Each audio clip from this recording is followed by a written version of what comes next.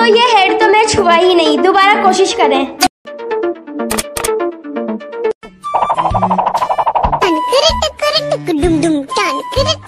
ton